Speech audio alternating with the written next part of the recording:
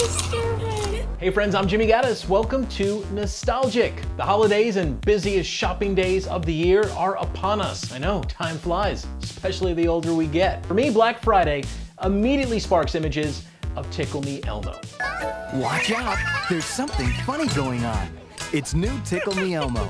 Your child tickles Elmo and he talks. That tickles. From the stampedes in stores to the overwhelming media attention, this was the toy of the 1996 holiday shopping season. Well, it's this year's Toy Story, a red furry doll that giggles a lot. Tickle Me Elmo is the hottest thing this Christmas. Sold out of stores everywhere. In this video, we'll look back at the shopping frenzy, the talk show host who set the wheels in motion, how much they were selling for, and which marketing tactic was used to sell these toys that's been copied and utilized to this day. But first, do me a favor and click that subscribe button for more content that'll make you feel nostalgic for the 80s and the 90s. Be the first to know as soon as it comes out. And uh, speaking of the 80s, yeah, nothing may ever top the Cabbage Patch Mania of 1983.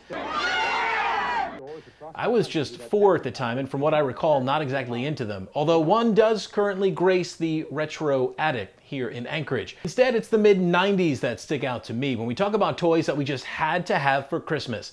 Beanie Babies, Furbies, Nintendo 64, Tamagotchis, and none more coveted than Tickle Me Elmo.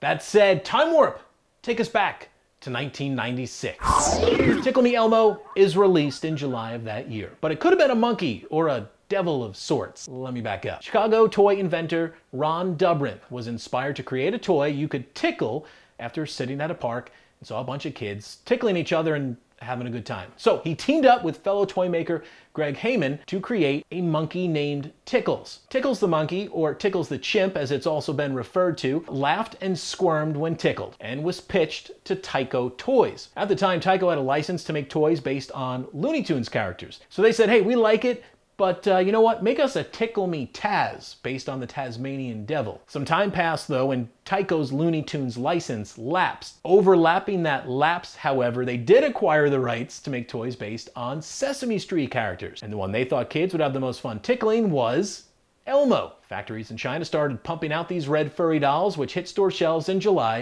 of 1996 for about $27.99 each. It was a successful launch and Tickle Me Elmo began to grow in popularity. Now, while this wasn't the first toy that laughed, it was the first toy whose reactions would progress the more you tickled it. Press Elmo's stomach, he giggled. Do it again, he speaks. That tickles. Tickle him a third time, And hold on, because his whole body shakes with laughter. something like this had never been done before.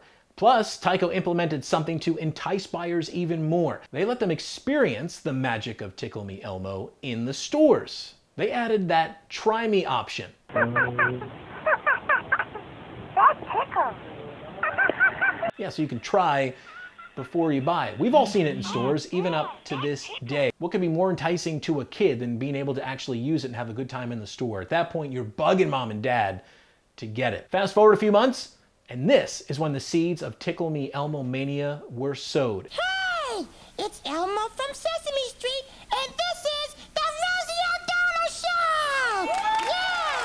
as Rosie O'Donnell, host of the very popular Rosie O'Donnell show at the time, plugged the toy in October. Tyco sent Rosie 200 Elmos, which were given out to the audience. The rest, as they say, is history, as Tickle Me Elmo became the must have toy of the holiday season. No wonder he's laughing. All the way to the bank, because North America has been gripped by Tickle Me Elmo hysteria. Oh boy, that tickles. People went absolutely crazy for these things. For the most part, supply was able to keep up with demand until the day after Thanksgiving, that we've all come to know and love as Black Friday, eventually selling out that day.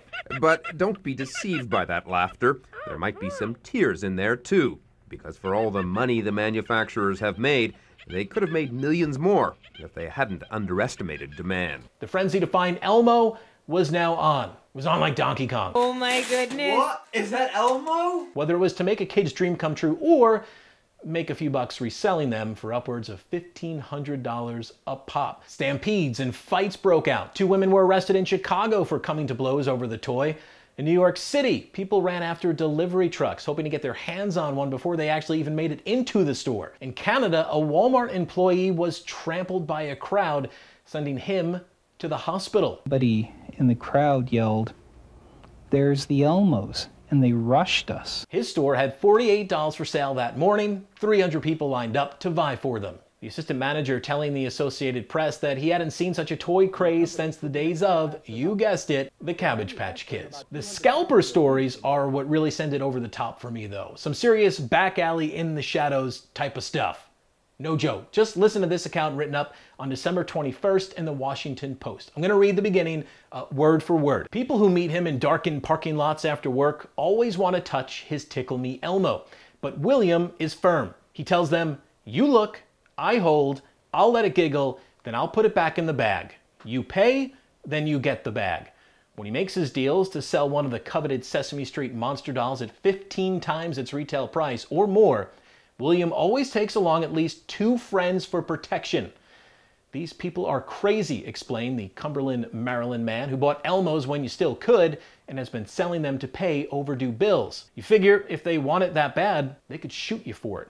Well, damn. The same article goes on to mention John Gotti Jr., son of reputed mob boss John Gotti. Uh, he was photographed leaving a Toys R Us in Queens uh, with an armful of Tickle Me Elmos.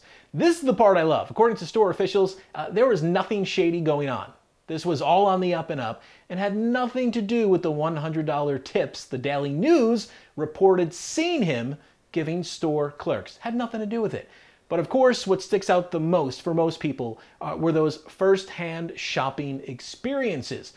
They can get a little dangerous, as you saw. According to the Strong Museum of Play, which, by the way, is not elected Tickle Me Elmo into its National Toy Hall of Fame yet, to help fend off fights and possible theft, Toys R Us had a system alerting its rain check holders, at least. Uh, they would give you a call and leave a vague message that your item was ready for pickup. When you arrived, the clerk would hand you a pre-wrapped package so you could slip out of the store without anyone knowing what you had in the box. Eventually, many of us would get tired of hearing about Tickle Me Elmo. Some would use it as an opportunity for attention, and thankfully, some would use it as an opportunity to give back, or both. Finally, tonight, we bring you some good news and some bad news concerning that little red monster that you love to tickle. Yes, we are talking about Elmo. In similar stunts on opposite sides of the country, the Tickle Me Elmo doll faced life or the wood chipper. We take you first to Santa Barbara. Radio station KHTY DJ Hal Abrams held the Sesame Street character hostage while crowds gathered around chanting Shred Him. But the station was flooded with faxes and phone calls to save Elmo. And in the end, Santa came to the rescue and Elmo was spared. The doll was donated to the pediatrics ward of Cottage Hospital. Elmo has about three feet to go. He's centered exactly. He's got one foot away from certain In Southfield, death. Michigan, where Elmo was facing a similar fate, he didn't fare so well. DJs there figured the best way for everybody to get an Elmo for the holidays was to divvy him up, so they put him through the shredder. Then they collected the pieces in a small coffin and passed them out to the crowd. You know, a lot of people out there who are dying to get one of those dolls are cringing watching that, saying, I could have given that, you know. In the end, Tyco reportedly sold over a million Tickle Me Elmos by Christmas of that year and more than 5 million by Christmas of 1997. What do you remember from that year? Did you want one? Did you get one? Do you recall venturing out to find one in the wild? Let me know in the comments. If you enjoyed this Black Friday flashback, please give this video a like and be sure to subscribe for more videos that are gonna make you feel nostalgic for the 80s, like this one right here, and the 90s, like this one right here. I'm Jimmy Gaddis. Thank you so much for watching. I'll see you next time.